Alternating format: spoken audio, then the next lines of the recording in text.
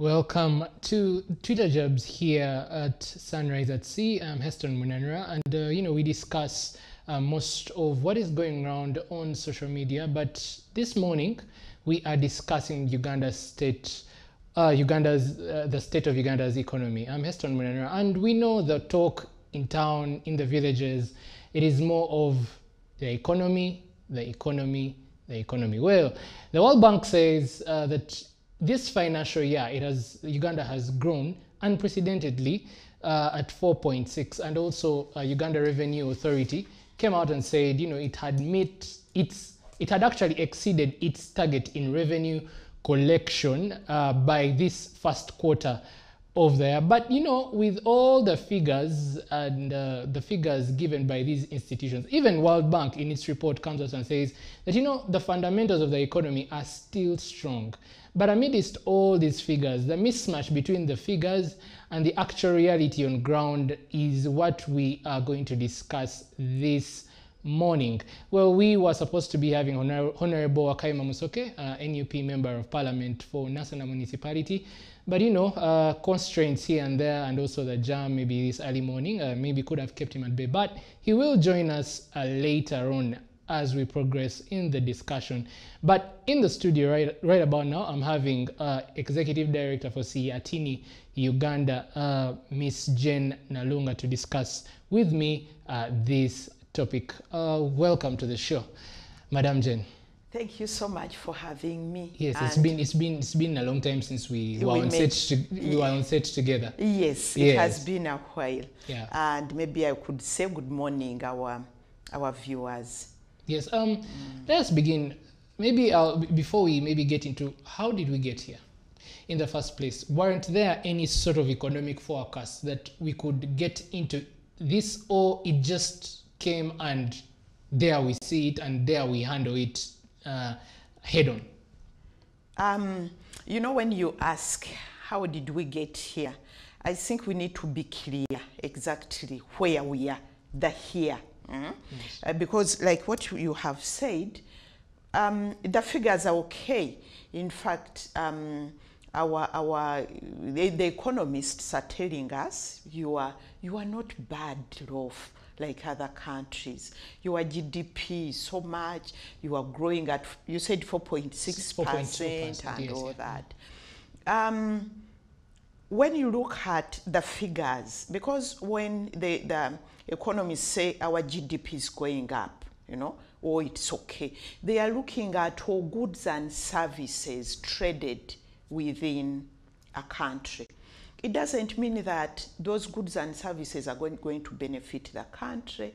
It doesn't mean that you and me are going to get a pie, a part of that that money. So sometimes it's really important to look at the human development indicators, you know. Although you can say the economy is growing, but who is growing? Who is getting the benefit of that growth? Sometimes it might not even be the country, because you look at our country today, today where we are in actual terms. mm, the country is indebted, you know, really, really indebted, you know, because we can't generate enough funds. Our ends can't meet what we need and the resources are available. That's why we are we are borrowing, you know. People are poor, they have no jobs. The young people, you are lucky. You are seated here, you know. Other people are not as lucky as you are. There is a lot of unemployment. Our production and productivity has gone down. You know, we are not export. What we are exporting is raw. You know, in fact, when you look at our exports, still coffee, gold, but coffee in the raw form, gold in the raw form. Then we add on some maize, some eggs, some avocados, some fish. You know, that's where that's where we are. And when you ask, how did we come to be where we are, where we are poor, you know, and the poverty levels are going up. When you look at the COVID pandemic, mm, it's, it's also a watershed in our economic trajectory, you know. Um, the COVID pandemic really battered our economy. Not just ours, but globally. Globally, All the global, you know, economies had challenges, even the developed countries. But we need to consider that even before there were those long-standing challenges, because Uganda we have been poor, we are poor. And I think that's what should sink in the minds of our policymakers. That's why we are designated as a least developing country. LDC. LDC is that category of people who are poor, the countries which are really poor at the bottom of the ladder. And Uganda is one of them. I'm emphasizing this for us to be able to know where we are and be able to put uh, to put uh, uh, uh, uh, strategies in place to be able to get out. Because some people, there is this notion that, oh, Uganda, we are doing okay, we are fine, the economic gro- growth is so much, we are growing economically, you know, economic growth, we are better than this country, that our debt is okay, we are better than the US, their debt is high, you know.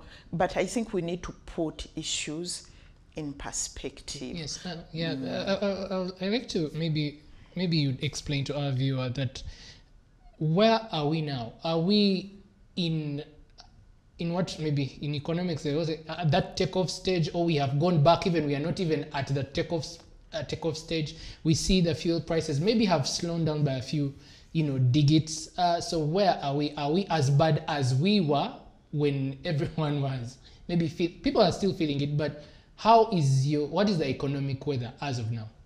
Uh, maybe you remember when there was that debate whether we have entered the middle income status, whe- whether we are at the threshold.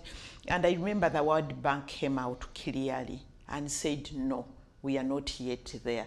And World Bank said that if we continue, you know, the way the way the economy is moving, you know, we might take a number of years to go into into uh, the middle income status. Those are not my words, that's World Bank. And I think where we are, it's not a very good place. It's not really a good place. Because for an economy to grow, and that's why I want us to look at fundamentals instead of looking, okay, the fundamentals which you said, Yes. of not those fundamentals of economic growth, for 4.6 percent and all that.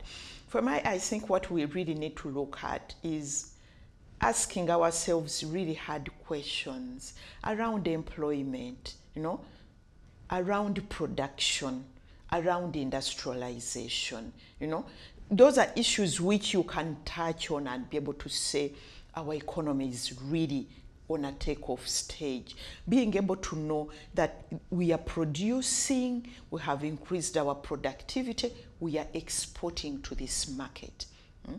Being able to know that now we have so many industries, you know, which are providing jobs, but which are also providing backward and forward linkages between the producers and the market, you know, and people are getting jobs. Mm. Being able to know that we can be able to feed ourselves, that people are not dying of hunger. You know, we are looking at that economy, and that's what we call the real, real economy.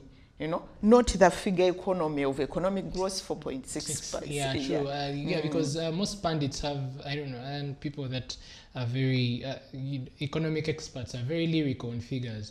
But when you really, on the day to day basis of the people we really interact with, the struggles they face, they don't seem to be in touch with these figures and they just really think that maybe the experts seem to be living in another country that they're not living in. So, what causes that mismatch? Is it because of the scientific figures are just a sample space, or they reflect the real reality of economic growth? Uh, maybe maybe another issue which we need to separate really is um, separate the economics economics and the economy. Economics can help us to explain mm, some of what's going on, you know, in the in the economy. But economics not everything. you know, because we need to look at how do we trade, how do we get out of uh, this issue. Economics can help, you know, looking at the figures and all that, GDP growth, but it isn't the end of it. There is a very interesting book. In fact, I wanted to bring it next time you invite me. I will show it to you uh, by Professor Erik Reinert, very renowned professor. Uh, he wrote a book, Why Developed Countries, Why Rich Countries Are Rich, and Why Poor Countries Stay Poor. And one of the issues was that instead of looking at economics and figures, let us look at the history of economics. What did those countries do? Countries like Japan, countries like, you know, European countries, what did they do to become rich? Hmm? What are those policies? What are those policies they put in place? You know? So and I found that it's a, I will, I will show it to you. Yes. You know, very good book. So many lessons. And for me, I think when we are looking at our economy and how to get out of that this problem, we can learn lessons. hmm? Lessons. Eh, because now, like I said, all countries were battered by the COVID pandemic, but countries are moving. What have they done to move? What examples can we copy from those countries? I just want to give you an example, and I usually give that example of Kenya. Kenya negotiated, you know, Kenya is growing avocados, avocados, eh? has avocados, but they have negotiated a market with uh, China, Chinese. the Chinese. Even the quality of the avocados, that these are the what we want. Because at first, China said, Mm-mm, we want the avocados frozen at maybe negative 40%, you know. But afterwards, they were able to negotiate. These are the type of avocado we want, hard cover, this size. These are the pesticides we want you to use. We don't want those pesticides, you know. And they were able to reach an agreement. Now, Kenya is exporting avocados to Kenya, to China. And they're even getting them from people like you and me who have maybe a half an acre, as long as you do what's right, you know, you do the right seedling, the right fertilizers, the right pesticides, the right handling. And government is playing a role ensuring that there are storage facilities, collection centers. What am I getting at? Is that we need to plan. Maybe now we are going into what needs to be done, you know, but we need to learn. And where we are today as a country, we need, uh, there is a saying that we need waves, big waves, which can lift eh, a number of boats out of the harbor. But what we are looking, what we are seeing today is these jointed efforts, PDM.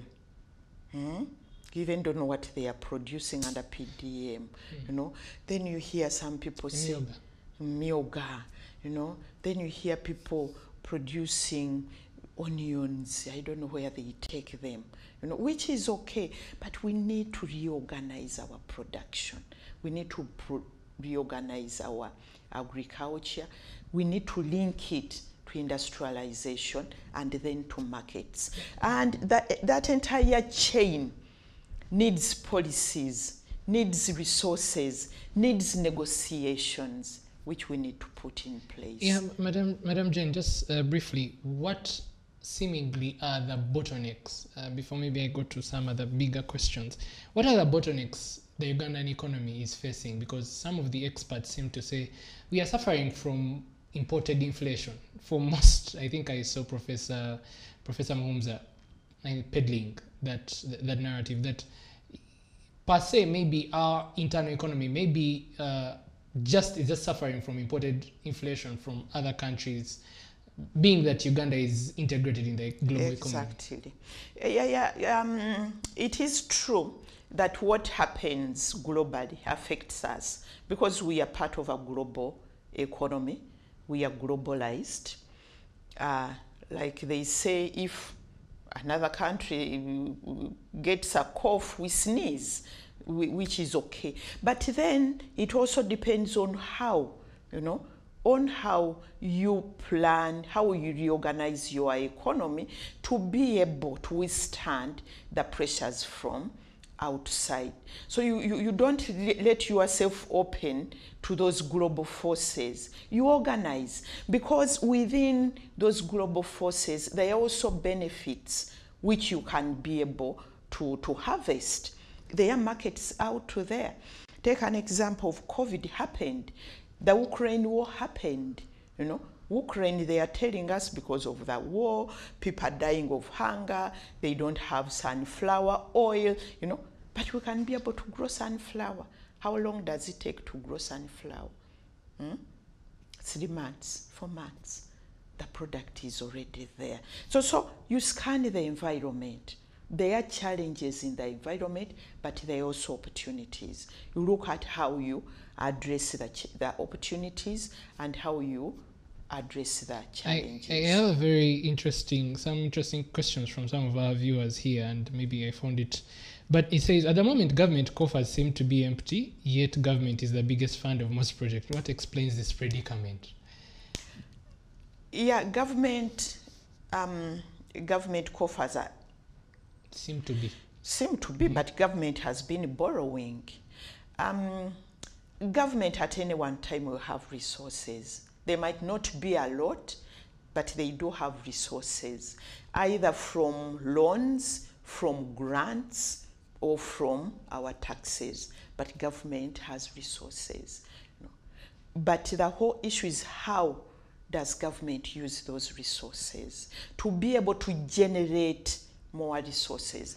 And I think this is a, uh, the challenge which we have today which our country has today, that we are indebted. Government coffers are empty because government, like now, there was this debate government borrowing 1.7 trillion uh, from a Japanese insurance company via Standard, Standard Chartered Bank. And when you look at where that money is going to go, we ask ourselves, should that money really go there? Because, Esther, when you are where you are now. You want to get a loan, you know, and that loan you need to repay it and you need to develop. Where should you put your money? You might be hard pressed to say, maybe I need another Sure. Maybe I need to go out for a drink. Maybe I need another suit. But then you say, no, let me invest it so that the money which comes out of that can be able to buy a shoe, isn't it? Yes. So, so the whole issue now is how do we use our meager resources prudently, you know, so that we can generate more resources. And what you are asking, what do we do? I think that's where we need also to start from. Mm? We are indebted, we have challenges of resources, but how are we using the little resources we have, you know. And when you look at where we are today, I don't think we are prudently using our resources.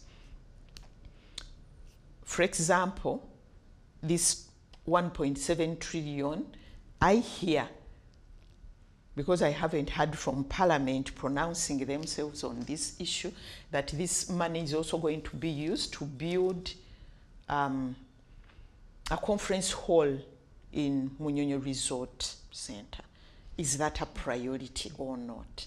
You know, so it goes back to what I said, understanding where we are, the challenges which we have, and how we get out of it. And we plan and we say, if our problem, you know, is about generating resources, growing the economy, increasing production and productivity, being able to industrialize, being able to trade, where do we put our money?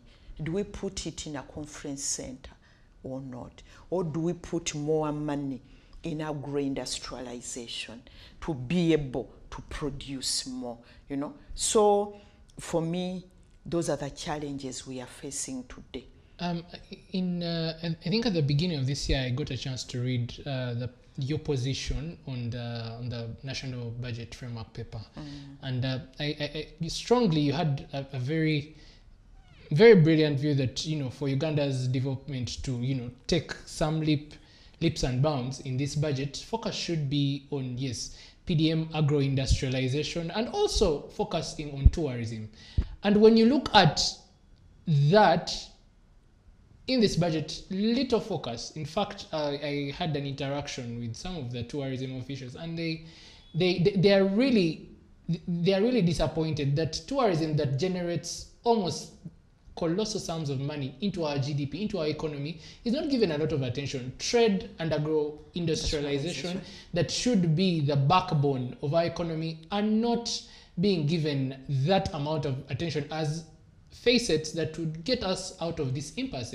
Uh-huh. So do you, uh, is, don't you find that frustrating after all these brilliant policies CRTD puts uh, forward on these different uh, forums? Don't I, I, I, think they, they, they, um, there have been a number of other organizations and people calling for um, prudent reallocation of our resources and also talking about issues of agro-industrialization.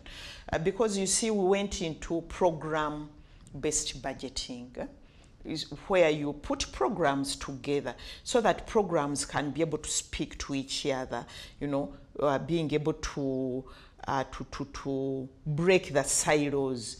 And I think that's how issues around um, capital development, eh? Uh, that's um, human capital, uh, human capital, development, development so that you put health, education, water together because that's about the human, you know, the people. And that's why agro-industrialization also was put together, that when you produce, you have to industrialize, isn't it? You, you do industries, which was very good. But again, what you are saying, when you look at the money which has been put in agro-industrialization because when we talk about agro-industrialization we are talking about agriculture then trade and industry.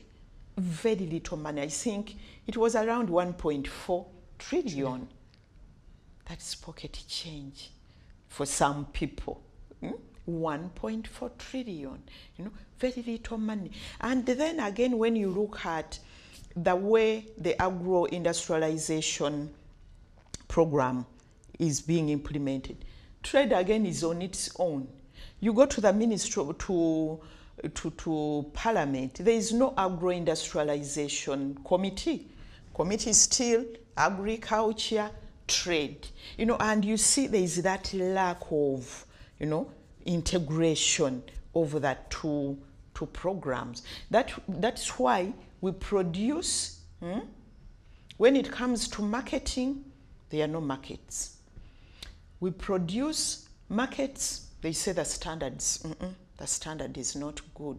Those products, we don't want them, you know? So that lack of coherence in our planning is really a problem. And it goes back to planning. We have failed to plan. One time, I was, was with some top policymakers and I made a proposal hmm, that we need a planning unit. I don't mind whether it's a, a ministry altogether. You remember, we, no, you, you, you were not yet born. Mm -hmm. We're back. planning was on its own. Ministry of yes, Planning. planning. But we have the National Planning Authority. Yeah, but, but it's, uh, for me, I don't think it's independent enough we need and we need we need it resourced you know to be able to plan to project. You know when you plan very well the work is half done by the way. Mm? but when you don't plan you would always be in circles. Take an example of pdm mm? pdm if it was food it's half cooked. It needs to, still to be in the kitchen and that's lack of planning, planning for this country. If you don't plan very well, you know, and if you don't know exactly what you want to achieve, any destination will be enough, isn't it? Yeah, true. True. But uh, in this, I, I- I don't know whether you will agree with me that isn't this time for high time for government to put some bit of austerity in its public spending, and in these austerity measures, channel what comes out of austerity into those sectors that would be able to boost our economy. You know, terms are very uh, problematic. The moment you talk about austerity measures, it isn't a good term. hmm? Um, it goes back to the World Bank.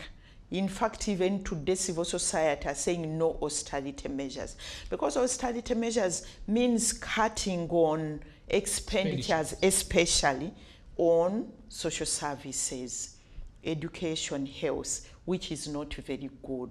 When we talk about prudent use of our resources, mm, we are looking at, for example, the administrative burden, the many constituencies. Is it possible to merge some constituencies?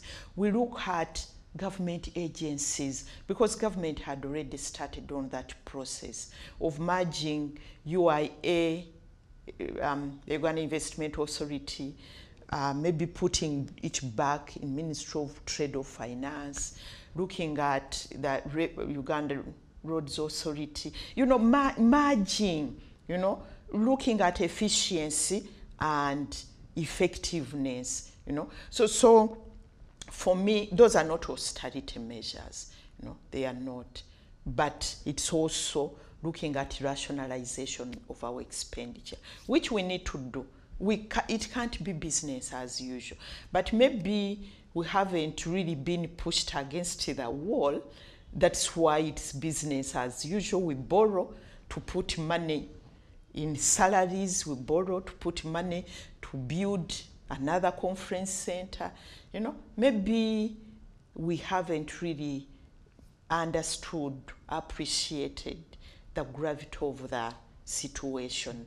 Maybe that's why our for our government it's business, business as usual. So, uh, Madam Jane, what now does do we need to do? Because mm. the, the, the viewer out there, there's a person who's really hard up mm. financially. Mm. Their child has not actually even managed to finish uh, P7. He's out there, you know, they're all stranded.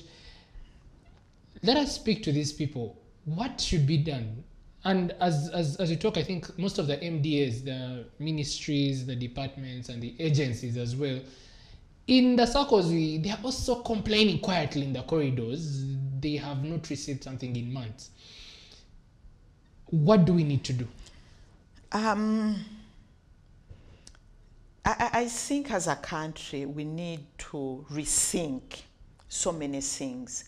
You know, when you are in a problem, mm, sometimes you are, it's adrenaline, you want to act. mm? And I think that's uh, how the government came up with a PDM.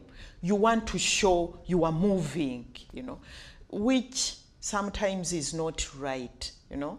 Um, it's like when you, I, I, I'm not a, um, a, a, a, an army person. My son used to be in the UK army. She used to, he used to explain some of these things, you know, that sometimes when you are in a, a very dire situation. Sit back, reorganize your resources, then attack, knowing exactly how you are going to attack, and also understanding the enemy. In Uganda, we need to understand, you know, where we are, you know. So we need to go back on the drawing board. This is the situation, the way it is. Where do we want to go, and how do we reach there? What do we need to discard? What do we need to go with? Hmm? Who should we move with?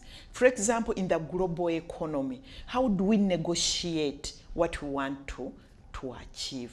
All that will require planning. Then we need also to plan who should do what. You know, today you look at some ministries are going that road, the other ones are going there, those ones are going there. Take an example of the PDM. Even the officers at the district level and the parish level don't know even up to now what they are supposed to be doing. I remember some people were joking that people ate the money. You know, Mm, those sure, scandals sure, have sure, been people yeah. eating. You know, extent, stealing yeah. the money. Even there was a headline, I think it was in the Monitor, that Mm. uh, you know that rules are now being re, you know, they're being rewritten again. And to my head, actually, I was moving to church when I saw that, and I was like, God, what is going on in our country? you know, and what PDM in its sense, uh, uh, people had, I don't know why people were predicting doomsday from the word go Because there was no plan. because they, wasn't- they're, they're like this is going to die at stillbirth and uh, and now it turns out to be looks like their prediction despite the political washing away of uh, of that possibility mm. it's likely to become like OWC Intandikwa Bonava Gagawale and yet these are good these these are good uh, good initiatives but maybe you I would like you to react on what what extent has Uganda's debt burden you know contributed to these current tough economic times is there Okay. any correlation Uh, maybe before we go to that date, but on the issue of the PDM, some people are saying, those officers, I don't know whether it's a joke or not, that for them, they thought PDM is the same as per diem. Wow. Because uh, it's almost the same, isn't it? PDM per diem. wow So that's why they ate their money. Wow But that tells us that lack of planning, lack of pulling in the same direction, understanding where we are and where we want to go, and understanding that this is the vehicle we are going to use to achieve a certain objective, to reach a certain destination. We don't have it. So people at the top decide PDM. By the time it reaches down, things have changed into per diem and the money is eaten. that's a crazy one there okay, so now when it comes to the issue of the debt, the debt burden, the debt burden is huge. hmm? They are telling us it's about 78, 78 trillion, but the figure is also not very clear because some people say 78 trillion, but they don't add on where government has guaranteed. Because when government guarantees your project, you know, and you don't pay, government has to pay. That's also part of government's responsibility and obligation. Uh, that are also monies which government borrowed from the central bank. So at the end of that day, even if we take 78 trillion, that's a lot of money because our budget is around 40, 40, 4, 48 44 uh, trillion, trillion, yeah. you know. So it's double our entire, mm, our entire, entire budget. But the challenge, because some people have been saying, you know, the economists tell us no, we are still okay, you know. Um, U.S. Somebody was giving an example of the U.S. That the U.S. their debt is even higher it's around 200 percent percent. yeah. Japan, is- but the, in, the gravity of the indebtedness depends on the capacity to pay. In fact, for us as uh, civil society, we have been saying let us look at other parameters to show whether our debt is sustainable. Looking at, for example, how much of our resources do we pay to service that debt. Hmm? Because the US, the US, they print their money, they have the dollars, you know. They can afford to continue, despite that debt, to continue, hmm? the incessant borrowing yeah, to continue providing social services. But for us, if you are paying hmm, your debt, the debt repayment is more than you spend on education, you spend on water, you spend on health, you spend on uh, trade combined and you are servicing your debt. Is that debt sustainable? It isn't. It isn't. So we need to look at it that, and we have gone to the extent of borrowing to service our debt. So you you dig this hole to cover this one, then you know, and th- the process continues. And that's why today we are talking about date cancellation. They cancel that date, date rescheduling. But again, we need again to see why are we where we are. Because there was a date cancellation under the HIPC initiative some time mm, back, mm.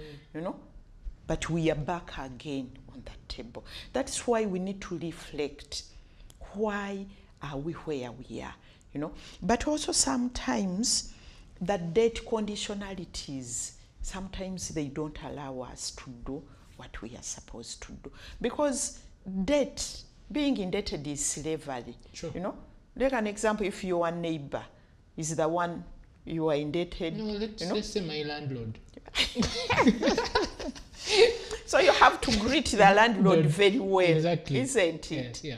The landlord, the, when the landlord, you know, you can even fear to cook meat in, in, in, in case you, you, you are near your landlord and you haven't paid.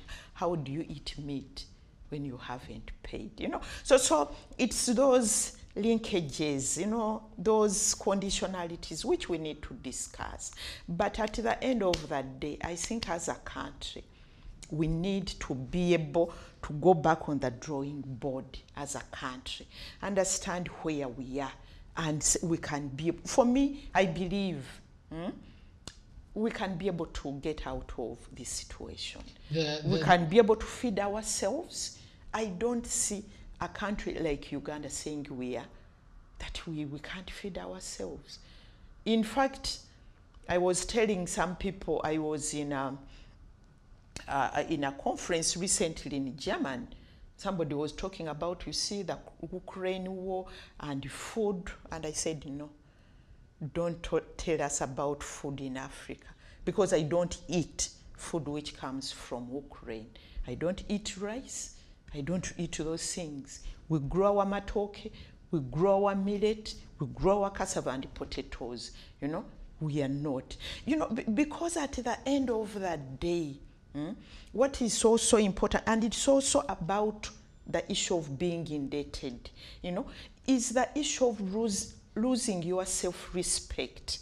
You know, as a people. You know, you know, when people say starving Africans, you know, you can't even put on your suit and feel nice in a conference. Eh? Starving Africans. You know, it, it takes away some our self-respect, you know, and we shouldn't allow that. I, I recently tweeted on my handle and said that uh, there has always been a conversation in the public space about uh, debt sustainability, but there's there is little to do with whether we will ever get out of this vicious cycle of debt, and and and that is a little bit worrying because if policymakers and, uh, and the political parashik aren't talking, having discussions on to project us into getting out of debt, but they are instead talking about how we can sustain, Sustain, our exactly. debt. There could be a problem. Exactly. And that's the entire challenge, you know, that we should be looking at exiting aid, exiting debt, you know, not sustaining it. hmm? It's like somebody sustaining somebody on life support, you know. The moment you switch off, that person is gone. So, so at the end of that day, I think we need to look at our resources and be able to say how do we use our resources proudly proudly ugandans proudly africans to be able to exit all this debt and aid Uh, I think one of um, one of the popular musicians sang, you know, made made a song and said, "Take a cent or whatever." And and and uh, to you, I would like to. Where should we put our money in terms of even the mega resources where we see we can get maybe okay in the short term and long term dividends that would help catapult us uh-huh. out of where we are. Huh. where should we put our money we, we should put our money in the human capital development because our most valued asset is we. We, you, and me, the people, you know, health people, you know, people who are educated, you know. Let us put our resources there. First of all, you know, first of all, let people have health, education, issues of water. hmm? A health population is a health nation. You know, ensure that our education is okay. You know, I remember there was a time when Ugandan doctors and teachers were, you know, everywhere you go. You know, I, I finished my university at a time when the situation was not very good, and I'm a teacher, I'm a trained teacher.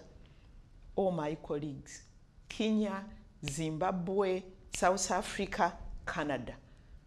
You go to Canada, most of the teachers my age are mostly Ugandans, you know. So that was the quality of education, you know.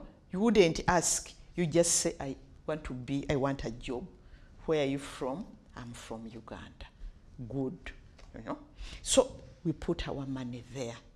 Then we put our money in the productive sectors. Uganda is an agricultural country. Mm? We are agri- whatever you say, this is an agricultural country, you know, and we can't wish it away. And for me, I think we can be able to use the, our agriculture and our small scale producers to produce for ourselves, to produce our food, but also to produce for our industries and exports. So we put our money in agriculture. And when we say agriculture, it's plant, crops, animals, forest. We put our money there. And also our resources like minerals. We put our money there. Then the entire chain agriculture, industry, then trade, you market, you know. And that value chain, that chain is not easy, you know. Like I said, there are policies to be put in place. For example, markets. Markets are negotiated. You don't just say people produce. We are going to where are you going to sell the products? When it comes to producing for the market, negotiate the market first.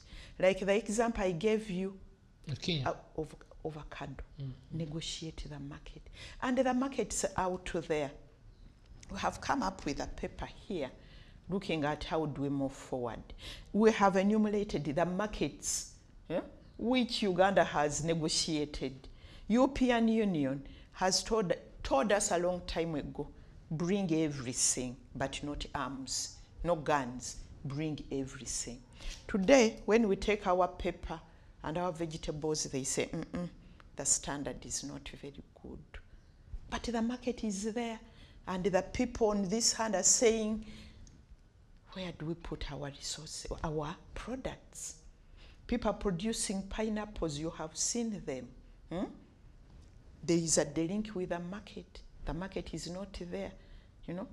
Yet there is a colleague who is studying in German. He was telling us he's buying hmm, um, dried pineapples, but from Tanzania. Is it 30 euros or 40 euros a packet? Oh. So, how do we reorganize our market so that we have incomes at household level and also at national level? Because at national level, unless government has income there, you know, the debt will continue. Government won't be having money to reinvest in those productive resources because we are servicing the loans. Government won't have money to put in the human development capital because we are servicing debts. And the cycle will Continue. on and on. Well, um, uh, as a student of law as well, uh, there's, there's, a dic- there's a maxim that says that uh, he who seeks equity uh, must come with clean hands. So, what would you think? Do you think Uganda's rival political tension, this was supposed to be for the politician, has anything to do with the current tough economic times that, you know, when two elephants fight, seemingly the grass must suffer? Okay. You are talking about clean hands and and, And equity. equity. Yes, mm? yeah, yeah. I will start with that, you know. We talked about corruption, the PDM, how people are eating that money, you know. And the issue of transparency, the issues of accountability, the issue of how we are using our resources is a challenge. Some people, not me, are saying we have let hyenas look after our goats. And that's a problem. So we need also to address that issue, you know, issue of corruption, you know, issues of transparency, Accountability. accountability. How do we use our resources? We are diverting resources.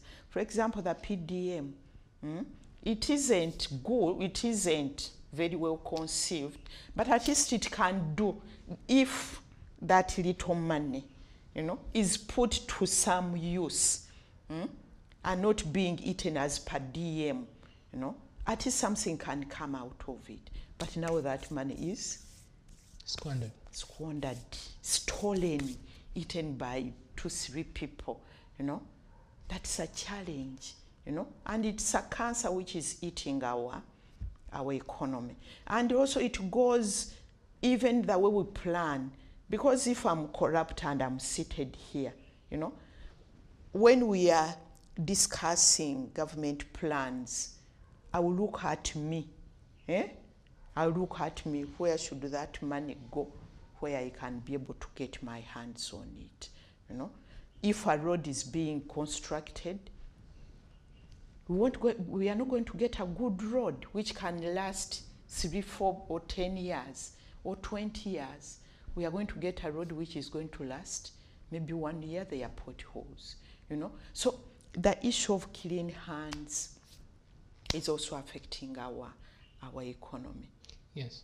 And, uh, and and also, uh, what would you do? do You think this? I, I, I always argue that corruption could be because people want, especially the politicians, want to look at sort of institutional corruption, but I think it boils down to it's a moral issue, and because in these institu- institutions do not just systems do not work; they have human beings behind them, and so when you do not deal with the moral fabric of these people, these individuals in these institutions, then you're shooting first and aiming later.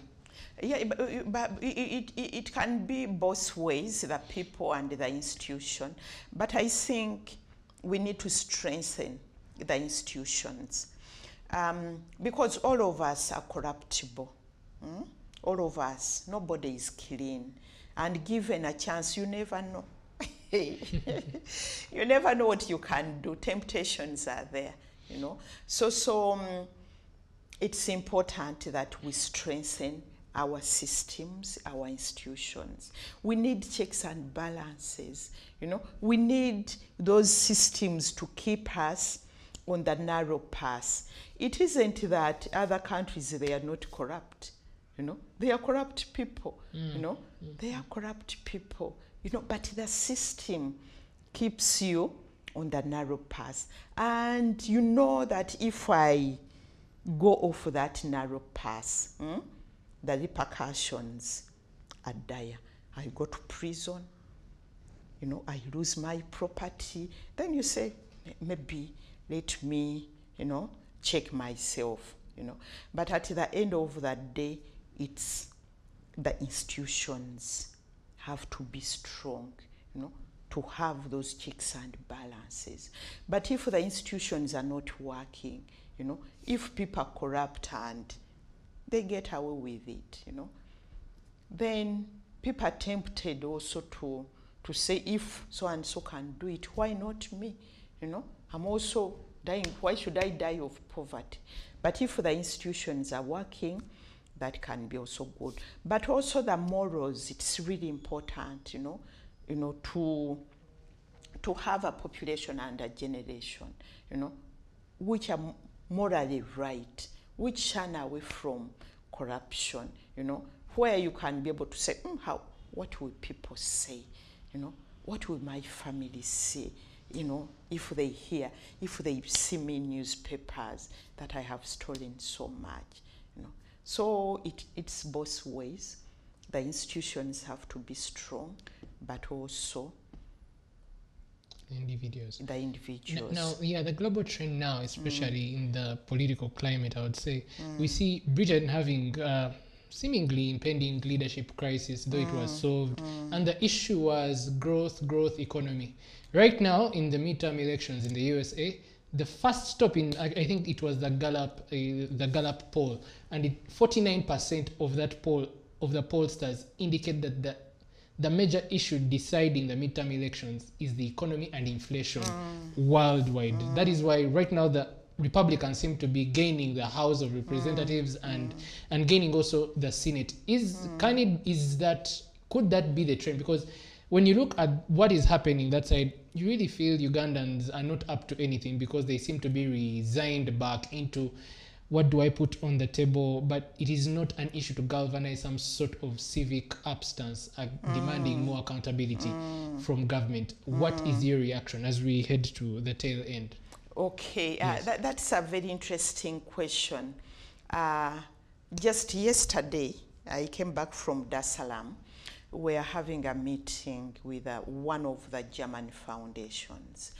And, you know, for the German government, each party has a foundation.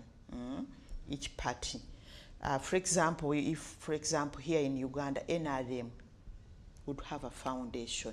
NUP, FDC, DP, they have foundations to do political education, you know, to educate, that we call it civic education Yes, here, yes. to educate their people as regards their ideology, because each party you stand for something, you know. For example, the Social Democrats, you have talked about the Republicans, Yes. the Democrats. yeah. You already know in the US One is conservative and the other is liberal. uh-huh. Yeah. When it comes to this issue, the Republicans, this is what they think. For us here in Africa, we don't have that, you know, and it's a big problem, you know, because at the end of the day, we look at individuals.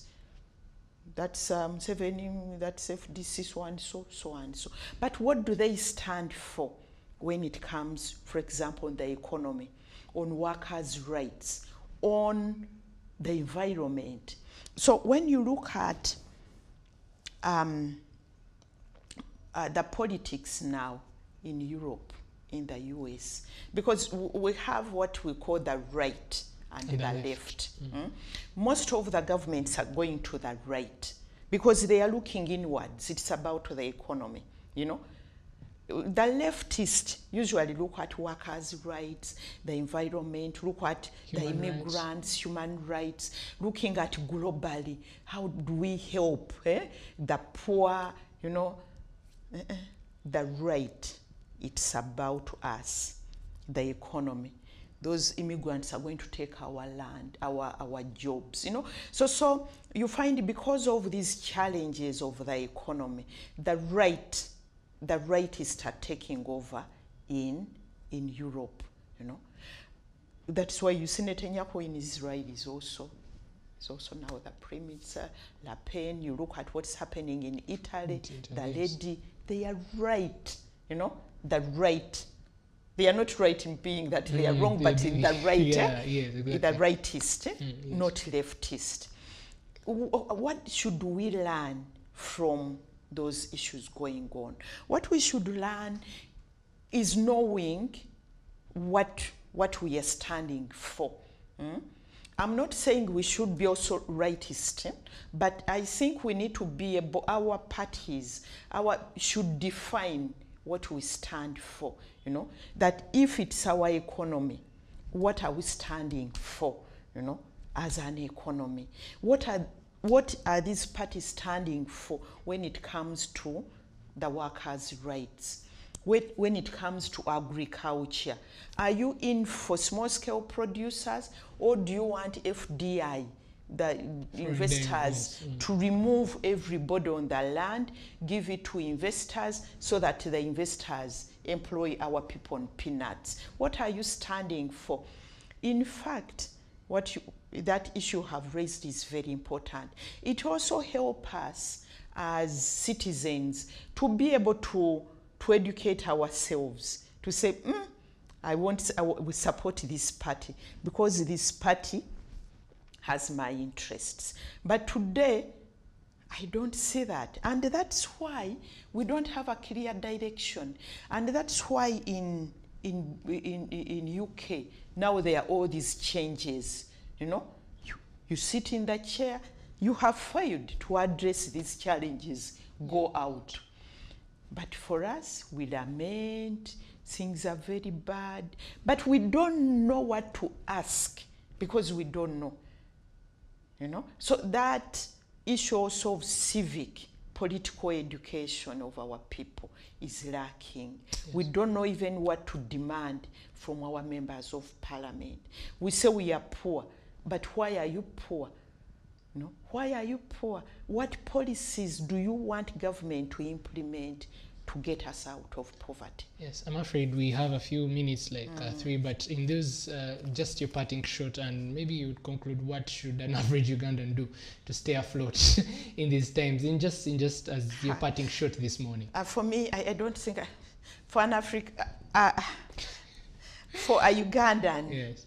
I don't know. If for a Ugandan, I, I, I know more Ugandan. It's a matter of hustling don't look at just one job hustle. You know, they are land, get some land in the in somewhere, grow your food, grow your cassava. You know, be self-reliant. You know, I went somewhere in Dar Salaam. Somebody has they don't grow, they don't buy tomatoes, they don't buy onions, you know, the vegetables, you know, in the compound, just, you know, your compound, you know, as you supplement your income. The things are very hard. But to government and to civil society and Ugandans, I think we need to rethink our economic development model and the entire development model. We need to rethink where we put our money. And we need to engage our government on how they are using our resources because that's our money.